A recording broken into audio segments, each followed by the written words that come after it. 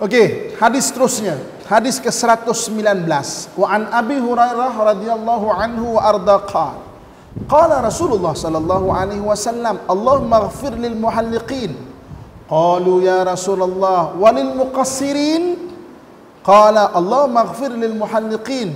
Qalu ya Rasulullah, "Wa lil muqassirin?" Qalu ya Rasul qala qalu ya Rasulullah walil muqassirin qalu ya Rasulullah walil muqassirin qala Allahumma ighfir lil muhalliqin Abu Hurairah radhiyallahu anhu berkata bahawa Rasulullah sallallahu alaihi wasallam bersabda Nabi sallallahu alaihi wasallam bersabda ya Allah ampunkanlah orang yang mencukur rambutnya ketika haji ataupun umrah eh? Para sahabat bertanya wahai Rasulullah bagaimana dengan orang yang memendekkan rambutnya Maka Rasulullah menjawab, Ya Allah, ampunkanlah orang yang mencukur rambutnya. Para sahabat bertanya lagi, Wahai Rasulullah, bagaimana dengan orang-orang yang memendekkan rambutnya? Baginda menjawab, Ya Allah, ampunkanlah orang-orang yang mencukur rambutnya. Para sahabat bertanya lagi, Wahai Rasulullah, bagaimana dengan orang-orang yang memendekkan rambutnya? Maka baginda bersabda, Ya Allah, ampunkanlah orang-orang yang mencukur rambutnya. Okey?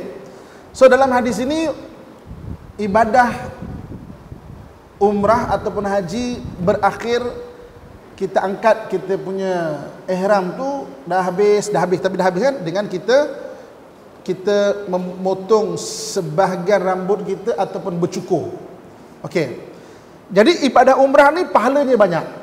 Ibadah umrah sendiri itu mengampunkan dosa. Kan kita dah belajar pada hadis lepas kan? Haji itu sendiri mengampunkan dosa. Ini bagi orang lelaki eh?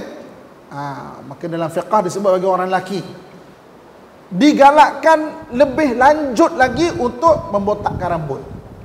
Ha, Nabi sebut, Ya Allah ampunkanlah orang yang yang mencukur rambutnya. Maknanya mencukur rambut eh. Ha, Okey. Kemudian kalau pendek macam mana Rasulullah? Ya Allah ampunkanlah orang yang mencukur rambutnya. Kalau pendek macam mana? Rasul tetap mendoakan. Jadi para muhaddisin membahaskan hadis ini. Yang pertama, Nabi taklah cakap orang yang memendekkan rambut tak diampunkan dosa.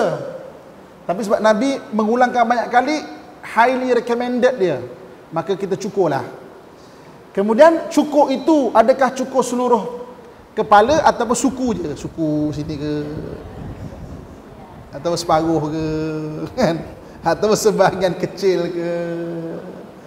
Juga tidak disebut Alhamdulillah. Jadi kalau anda kata kita lah ya. Kan? Highly recommended bagi orang lelaki botaklah kepala. Tapi nak botak macam mana kan? Ada orang selesa dengan botak itu. Ada orang selesa dengan jambul ramos dia tu kan? Jadi dia tak boleh nak botak. Ha, so dah boleh botak. Kalau tak pendekkan ataupun cukup sebahagian. Ambil berkat hadis ini. Cukuplah bagian sini ke bagian sini ke bagian sini ke. Kan? Ha, ini galakkan orang yang me, me, me, apa nama? Me, mencukur rambutnya Okey, ha, ini bagi orang yang orang laki, orang laki terutamanya. Orang perempuan tak tak payah eh. Ha, jangan pula tengok hadis ni, ada hadis sahih tau. Ha, abang kena tengok hadis ni bang. Balik-balik buka telekung pengsan lagi kita. orang laki eh. Okey.